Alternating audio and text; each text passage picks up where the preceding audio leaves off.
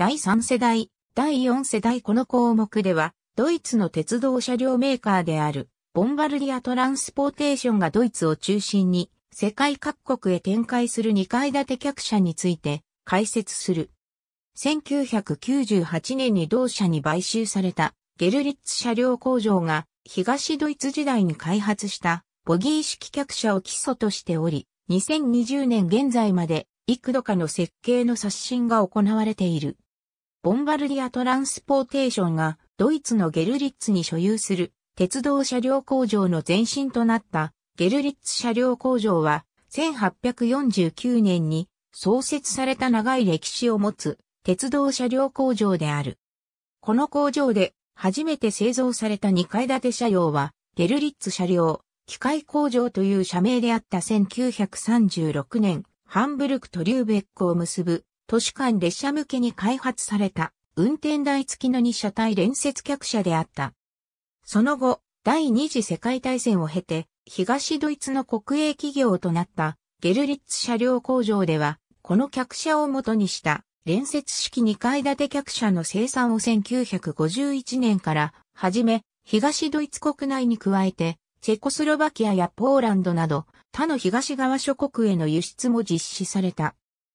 これらの連接式2階建て客車は定員数の増加に加えて必要車両数や機関車の消費燃料、電力削減などの利点を有していたが、その一方で複数の車体によるユニット単位での運用を必要とすることから、需要の増減への対応が難しく、さらに一つの車体が事故などで損傷した場合ユニット全体を運用から離脱させなければならなかった。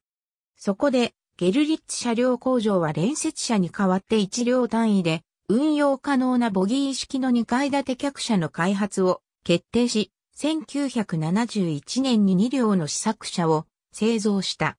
そして長期にわたる試運転を経て、1974年から量産が開始された。第一世代ドイツ国営鉄道向け車両2階建て客車は全金属、溶接構造を用いた全長26.8メートルの大型車体を有し、台車はゲルリッツ車両工場で開発されたゲルリッツ6型ボギー台車が用いられ、制動装置として踏みづらブレーキやディスクブレーキが搭載された。両開きの乗降扉は1階部分に2箇所設置されており、低床式プラットフォームに対応していた。車内の座席は2列配置のクロスシートを基本としていた車端の平屋部分にはロングシートが設置された。電源の供給に関しては運用の柔軟性を図るため充電池や発電機が各車両に搭載された分散電源方式が採用された。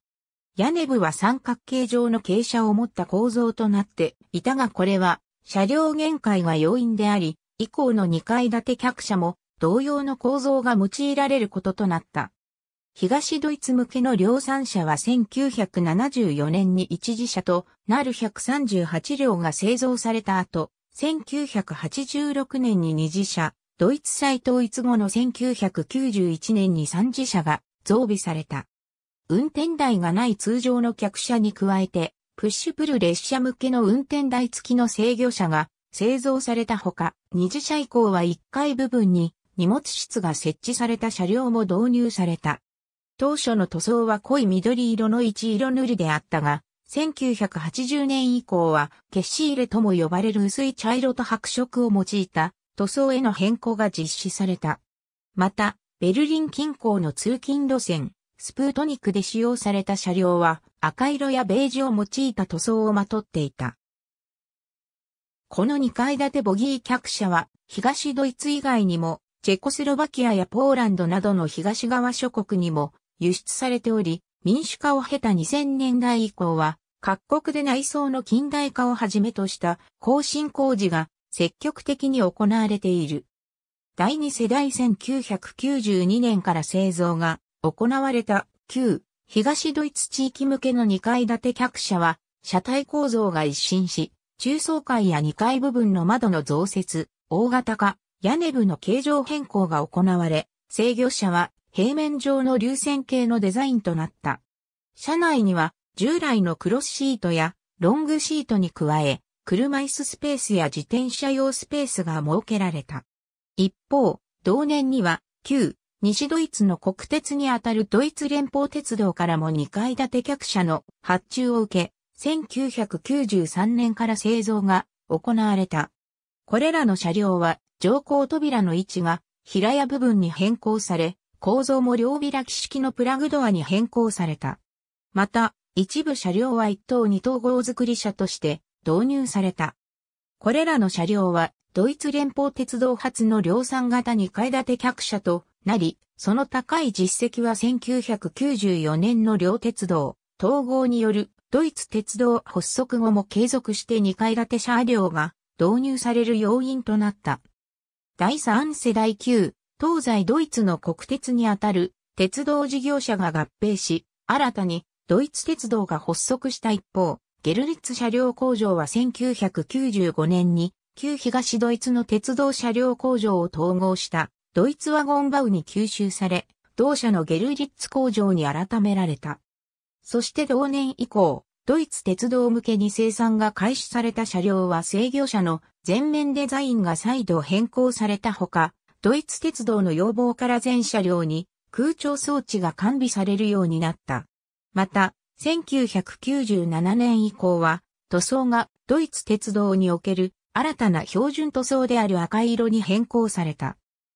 第4世代1998年にドイツワゴンバウがカナダのボンバルディアに買収されたことで、ゲルリッツの工場もボンバルディアトランスポーテーションに所有権が移管されたが、その直前となる1997年から同工場では3度目となる2階建て客車の設計変更が実施され、制御車の前面が空気力学を元にしたデザインに改められたほか、行き先表示装置の大型化、落書き防止対策などが施された。また、2007年以降の心臓車両は、台車が新規に開発されたゲルリッツ9に変更されている。この第4世代にあたる2階建て客車は当初ドイツ、鉄道向けのみが製造されたが、ボンバルディアトランスポーテーションへ移管されて、以降はドイツ国外へ向けても積極的に展開されるようになった。以下、その代表例を記す。第5世代2008年12月、ボンバルディアトランスポーテーションは、ドイツ鉄道との間に新型客車の導入に関する契約を交わしたが、その際にドイツ鉄道から提案された各種の要望に基づき、ボンバルディア側は新たな2階建て車両の開発を決定した。当初このプロジェクトはドスト2010と呼ばれていたが、後にツインデックスというブランド名に改められている。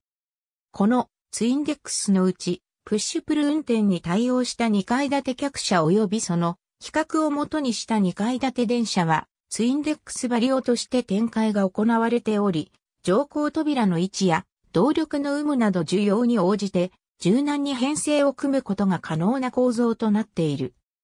ゲルリッツでの生産は2013年から始まり、ドイツ鉄道に加えて、ニーダーアッザクセン州地域鉄道局などの列車運営事業者やイスラエル鉄道といった海外への導入も実施されている。ありがとうございます。